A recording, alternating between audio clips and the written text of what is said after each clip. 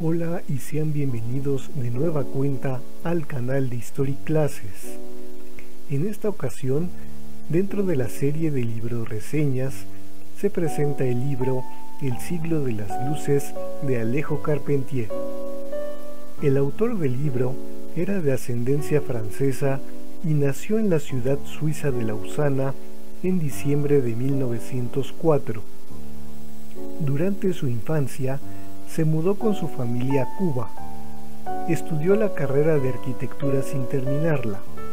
A partir de la década de 1920, se dedicaría al periodismo escribiendo en diversos periódicos y revistas de Cuba y Francia, país donde residiría en la década de 1930. También vivió en España, México y Venezuela. Posteriormente, Carpentier sería funcionario y diplomático al servicio del gobierno de Cuba después de la revolución acaecida en ese país en 1959. A la par de su actividad como funcionario, Alejo Carpentier publicaría diversos libros, entre ellos El siglo de las luces, el cual se publicó por vez primera en 1962. Es en esa época cuando surgiría el movimiento literario conocido como el boom latinoamericano, cuando autores hispanoamericanos de una generación posterior comenzaron a obtener notoriedad en la publicación de sus obras. Alejo Carpentier falleció en París, Francia, durante su misión diplomática como representante de Cuba en 1980.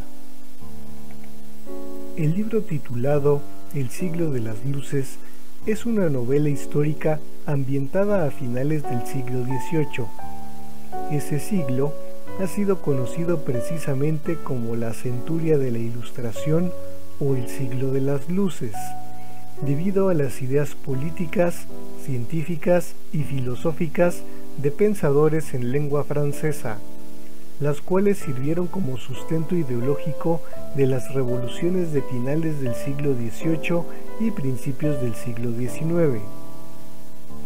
Los personajes principales son jóvenes oriundos de Cuba, considerados como españoles americanos en ese entonces, de nombre Sofía, Carlos y Esteban, quienes a pesar de quedar en orfandad, pertenecen a una clase social acomodada y acceden al conocimiento de la ilustración.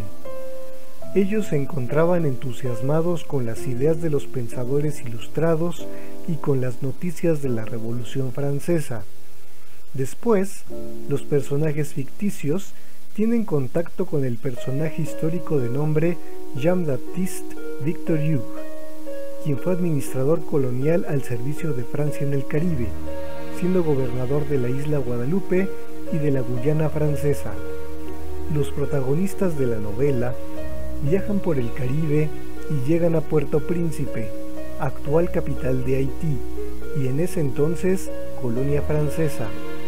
A pesar de estar en una colonia, los protagonistas se sentían en Francia y en su ambiente revolucionario, pero conforme va desarrollándose la trama, los personajes comienzan a enfrentar en la Francia caribeña los problemas, las contradicciones y las desilusiones de las consecuencias del movimiento revolucionario francés y sus repercusiones en sus colonias, así como el conocimiento de opiniones sobre la Revolución Francesa y sus consecuencias en el mundo hispánico. Tras la ejecución de Luis XVI y el llamado Reino del Terror, buena parte de la población española en ambos lados del Atlántico se sintieron temerosas de sufrir algo similar con su monarquía.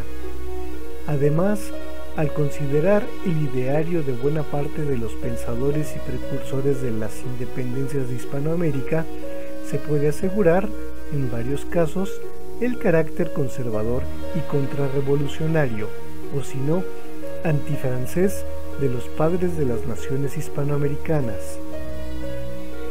En la narrativa del libro también se destaca la mención de personajes históricos de relevancia para la historia de Haití, del Caribe e incluso Francia, como el propio Jean-Baptiste Victor Hugo, el rebelde Vincent Oyer, quien fue torturado hasta la muerte, así como los héroes nacionales haitianos Toussaint Louverture y Jean-Jacques de Salin.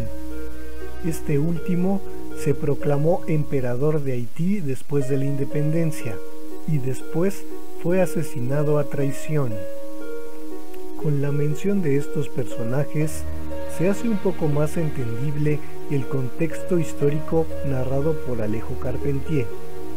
Entre los principales problemas del contexto está el concepto de libertad e igualdad ante la ley, el cual discrepaba con los intereses comerciales y mercantiles de los esclavistas, aunque incluso hubiera esclavistas manifestantes a favor de las ideas de la Ilustración, lo cual sería una incongruencia. Para muestra, la siguiente cita textual. Vivimos en un mundo descabellado. Antes de la revolución andaba por estas islas un buque negrero, perteneciente a un armador filósofo amigo de Juan Jacobo. ¿Y sabe usted cómo se llamaba ese buque? El contrato social. La decepción por los ideales juveniles de los protagonistas hacia la Ilustración y la Revolución Francesa se incrementa cuando ven a Jean-Baptiste Victor Hugo como funcionario colonial y convertido en el Robespierre de las islas, en referencia al líder revolucionario del periodo conocido como la Era del Terror, por la gran cantidad de ejecutados por ser sospechosos de estar en contra del régimen revolucionario. De igual forma, se menciona la presencia de la guillotina en los territorios franceses del Caribe. Para concluir, la novela El siglo de las luces resulta ser una acertada narración donde se vincula el contexto sociocultural del autor. Al establecerse en Cuba y ser de origen franco-suizo, Carpentier logra conectar el mundo francófono con el contexto caribeño, relacionando los acaecimientos de la Revolución Francesa en la Francia ultramarina del Caribe y acercando un poco la historia de Haití y otras islas consideradas como parte de Latinoamérica hacia los países de la América hispanohablante. En el texto también hay diálogos escritos en francés, considerada como la lengua franca de la época. Este es un aspecto que comparte la novela del siglo de las luces con otro clásico de la literatura como lo es La guerra y la paz de León Tolstoy. Ambas obras se caracterizan por desmitificar aspectos de la Revolución Francesa a través de su narrativa. Tolstoy desmitificó la imagen del gran héroe existente en el imaginario popular para Napoleón, y Alejo Carpentier acercó los excesos y las incongruencias de la Primera República Francesa a su contexto geográfico, es decir, el del Caribe, para hacerlo aún más entendible para el público hispanoamericano. Así finaliza esta reseña. Si les ha gustado, denle un pulgar arriba. Comenten, compartan y suscríbanse para revisar los videos del canal. Por último, se les invita a realizar su donativo en Patreon para sugerir nuevos temas, conocer los próximos videos del canal y contribuir con la mejora de los contenidos. Por su atención, muchas gracias.